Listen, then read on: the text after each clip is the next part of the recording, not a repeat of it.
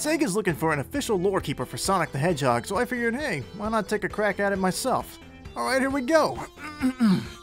In the beginning, baby Sonic was born. He grew up to become a fine warrior for justice, although at the sight of the full moon turns him into this vicious monster. He's looking for the seven Chaos Emeralds, which when all gathered together allows you to summon a dragon that will grant any wish you want. Along the way, he meets a host of various characters, including one who would go on to become his best friend. He also fights a few characters that end up becoming strong allies with him in the end.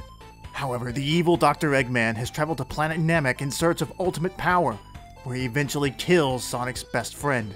Heartbroken and filled with rage, a golden power bursts forth from Sonic that allows him to defeat Eggman, but he's lost in the explosion of planet Namek. Or so we think. Sonic actually survived, and when he gets home, he's greeted by a mysterious time traveler who has the same golden power as him, the time traveler warns of a black Sonic who brings chaos wherever he goes. This Hedgehog clone has all of Sonic's powers, and it's up to Sonic to team up with this time traveler in order to defeat him and restore peace to the universe. But that peace doesn't last because Sonic's been invited to take part in a multiverse tournament.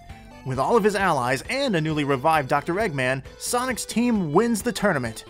But the bitter hatred between Eggman and Sonic remains, Eggman vows to remain evil, and Sonic says he will always be there to stop him. Yeah, I think that sounds pretty good.